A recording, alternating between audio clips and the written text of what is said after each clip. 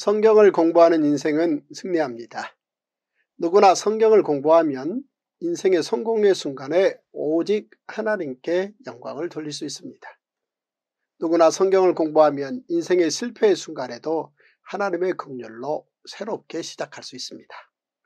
여기 여러분의 성경을 쉽고 재미있는 이야기로 도울 수 있는 큰 글자 통독성경이 있습니다. 역사순 1년 1독으로 출간된 세계 유일한 통독성경입니다. 오늘 또 역사순 큰 글자 통독 성경으로 시작하겠습니다. 오늘의 굿뉴스 출애굽기 30장에서 31장의 통습 다섯 가지 포인트를 먼저 읽어드리겠습니다. 첫 번째 포인트 대제사장의 중요한 일과는 아침과 저녁으로 향을 사르는 것입니다. 대제사장은 아침과 저녁으로 향을 살라야 합니다. 대제사장이 향을 살라야 하는 곳은 지성소 휘장 앞 성소 가운데 분양할 재단입니다. 또 하나는 대제사장은 1년에 한 차례씩 향단불을 위하여 속죄제를 드려야 합니다. 그것도 대대로 속죄해야만 했습니다. 이후에 보면 아론의 두 아들 나답과 아비우가 하늘로부터 불이 내려와 죽게 됩니다. 나답과 아비우가 다른 불을 가져다가 여호와 앞에 분양했기 때문입니다. 두 번째 포인트 모든 사람은 생명의 속전을 바쳐야 합니다. 하나님께서는 생명의 속전에 대한 법을 주십니다. 모든 사람은 죄를 사하시며 생명을 잊게 하신 하나님께 생명에 대한 속전을 반드시 바쳐야 했습니다. 부자나 가난한 사람 모두 똑같이 즉 이스라엘에 속한 모든 20세 이상 된 남자들은 누구나 반세겔의 속전을 바쳐야 했습니다.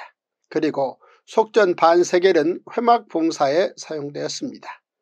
속전과 같이 신약시대에는 성전세라는 명목으로 유대 20세 이상의 모든 남자는 반세계를 내게 됩니다. 세 번째 포인트 천지창조와 예수 십자가는 하나님께서 홀로 그러나 방주와 성막과 성전은 인간과 함께 힘을 합하여 만드십니다. 하나님께서는 온 우주 만물을 말씀으로 홀로 만드셨습니다. 그리고 우리 예수님께서는 공생의 3년은 제자들과 함께 하셨지만 십자가는 홀로 주셨습니다. 그런데 노아의 방주는 하나님의 설계도와 노아 가족의 시공이 만든 합작품이었습니다. 이번 성막 또한 노아의 방주처럼 하나님께서 설계도를 주시고 온 이스라엘 백성이 힘을 합하여 성막을 만들 것입니다. 하나님께서는 인생들과 함께 하시는 일을 기뻐하십니다. 네 번째 포인트 출애굽의 지도자는 모세와 아론이었고 성막 건축의 지도자는 부살렐과 오홀리압입니다. 출애굽의 지도자는 모세와 아론이었습니다. 이제 시내 광야에서 하나님께서 주신 설계도대로 성막을 만드는 과정에 가장 적합한 또 다른 지도자가 필요했습니다. 그들은 부살렐과 오홀리압입니다. 성막을 만드는 과정에서 부살렐과 오홀리압이 지도자로 선택된 이유는 그들이 지혜로운 마음의 소유자들이었기 때문입니다. 부살렐과 오홀리압의 지혜로운 마음은 두 가지로 표현됩니다. 하나는 그들이 연구할 줄 아는 사람들이라는 것입니다. 또 하나는 그들이 성막 만드는 모든 과정을 끝낸 후 자신들이 만든 성막을 다시는 만지지 않았다는 것입니다. 지혜로운 불살렐과 올리압은 그들의 손으로 성막 만드는 전 과정에서 일을 했지만 이후 성막을 만지는 것은 물론 어떤 모조품도 만들지 않았습니다. 다섯 번째 포인트 안식일 하나님의 창조 디자인의 가장 큰 프레임은 6일 동안 일하고 7일에는 반드시 쉬는 것입니다. 창조주 하나님께서는 피조물인 우리 인간들에게 하나님의 안식일을 지키라고 명령하십니다. 우리가 안식일을 지키는 것은 하나님과 우리 사이에 있는 대대의 표징이기 때문입니다. 모든 성경은 유익합니다. 세상 예화나 성경 요절주의, 권별주의는 끝내 성경을 어렵게 합니다. 모든 성경을 모든 가정에서 다섯 살부터 통성경 스토리로 듣게 되면 성경은 곧 쉽고 재미있는 책이 될 것입니다. 모든 성경 이야기에는 첫째 하나님의 법, 둘째 하나님의 긍휼, 셋째 하나님의 기적이 들어있습니다. 그러므로 성경 한 권이면 충분합니다. 와우! 제29일 출애굽기 30장 너는 분향할 제단을 만들지니 곧 조각목으로 만들되 길이가 한 규빗 너비가 한 규빗으로 네모가 반듯하게 하고 높이는 두 규빗으로 하며 그 뿔을 그것과 이어지게 하고 재단 상면과 전후 좌우면과 뿔을 순금으로 싸고 주위에 금태를 둘을 찌며 금태 아래 양쪽에 금고리 둘을 만들되 곧그 양쪽에 만들지니 이는 재단을 매는 채를 꿰를 곳이며 그 채를 조각목으로 만들고 금으로 싸고 그 재단을 증거계 위 속죄소 맞은편 곧 증거계 앞에 있는 휘장 밖에 두라.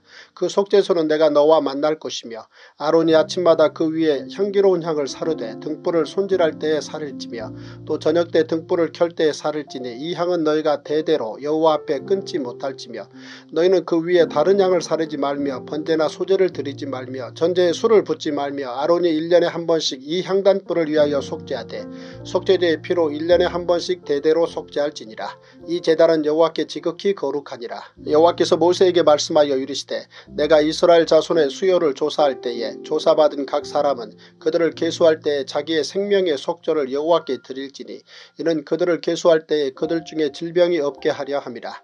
무릇 계수 중에 드는 자마다 성소의 세겔로 반 세겔을 낼지니 한 세겔은 20개라라. 그 반 세겔을 여호와께 드릴지며 계수 중에 드는 모든 자 곧 스무 살 이상 된 자가 여호와께 드리되 너희의 생명을 대속하기 위하여 여호와께 드릴 때에 부자라고 반 세겔에서 더 내지 말고 가난한 자라고 덜 내지 말지며 너는 너는 이스라엘 자손에게서 속전을 취하여 회막 봉사했으라. 이것이 여호와 앞에서 이스라엘 자손의 기념이 되어서 너희의 생명을 대속하리라. 여호와께서 모세에게 말씀하여 이르시되 너는 물두멍을 노수로 만들고 그 받침도 노수로 만들어 씻게 하되 그것을 회막과 재단 사이에 두고 그 속에 물을 담으라. 아론과 그의 아들들이 그 두멍에서 수족을 씻되 그들이 회막에 들어갈 때 물로 씻어 죽기를 면할 것이요 재단에 가까이 가서 그 직분을 행하여 여호와 앞에 화제를 사를 때에도 그리할지니라. 이와 같이 그들이 그 수족을 씻어 죽기를 면할지니 이는 그와 그의 자손이 대대로 영원히 지킬 규례니라. 여호와께서 모세에게 또 말씀하여 이르시되 너는 상등 향품을 가지되 액체 몰약 500세겔과 그 반수의 향기로운 육개 250세겔과 향기로운 창포 250세겔과 계피 500세겔을 성소의 세겔로 하고 감남 기름 한 흰을 가지고 그것으로 거룩한 관유를 만들되 향을 제조하는 법대로 향기름을 만들지니 그것이 거룩한 관유가 될지라. 너는 그것을 회막과 증거교회에 바르고 상과 그모 든 기구이며 등잔대와 그 기구이며 분양단과 및 번제단과 그 모든 기구와 물두멍과 그 받침에 발라 그것들을 지극히 거룩한 것으로 구별하라. 이것에 접촉하는 것은 모두 거룩하리라. 너는 아론과 그의 아들들에게 기름을 발라 그들을 거룩하게 하고 그들이 내게 제사장 직분을 행하게 하고 이스라엘 자손에게 말하여 이르기를 이것은 너희 대대로 내게 거룩한 관윤이 사람의 몸에 붙지 말며 이 방법대로 이와 같은 것을 만들지 말라. 이는 거룩하니 너희는 거룩히 여기라. 이와 같은 것을 만드는 모든 자와 이것을 타인에게 붙는 모든 자는 그 백성 중에서 끊어지리라 하라. 여호와께서 모세에게 이르시되 너는 소합향과 나감향과 풍자향의 향품을 가져다가 그 향품을 유향에 섞되 각기 같은 분량으로 하고 그것으로 향을 만들 때 향 만드는 법대로 만들고 그것에 소금을 쳐서 성결하게 하고 그 향 얼마를 곱게 찌어 내가 너와 만날 회막한 증거계 앞에 두라. 이 향은 너희에게 지극히 거룩하니라. 내가 여호와를 위하여 만들 향은 거룩한 것이니 너희를 위하여는 그 방법대로 만들지 말라. 냄새를 맡으려고 이 같은 것을 만드는 모든 자는 그 백성 중에서 끊어지리라. 출애굽기 31장 여호와께서 모세에게 말씀하여 이르시되 내가 유다지파 훌의 손자여 우리의 아들인 부살레를 지명하여 부르고 하나님의 영을 그에게 충만하게 하여 지혜와 총명과 지식과 여러가지 재주로 정교한 일을 연구하여 금과 은과 노소로 만들게 하며 보석을 깎아 물리며 여러가지 기술로 나무를 새겨 만들게 하리라. 내가 또 단지파 아이사막의 아들 오홀리압을 세워 그와 함께하게 하며 지혜로운 마음이 있는 모든 자에게 내가 지혜를 주어 그들이 내가 내게 명령한 것을 다 만들게 할지니 곧 회막과 증거계와 그 위에 속죄소와 회막의 모든 기구와 상과 그 기구와 순금 등잔대와 그 모든 기구와 분양단과 번제단과 그 모든 기구와 물두멍과 그 받침과 제사직을 행할 때 입는 정교하게 짠 의복 곧 제사장 아론의 성의와 그의 아들들의 옷과 관유와 성소의 향기로운 향이라. 물은 내가 내게 명령한 대로 그들이 만들지니라. 여호와께서 모세에게 말씀하여 이르시되 너는 이스라엘 자손에게 말하여 이르기를 너희는 나의 안식일을 지키라. 이는 나와 너희 사이에 너희 대대의 표징이니 나는 너희를 거룩하게 하는 여호와인 줄 너희가 알게 함이라. 너희는 안식일을 지킬지니 이는 너희에게 거룩한 날이 됨이니라.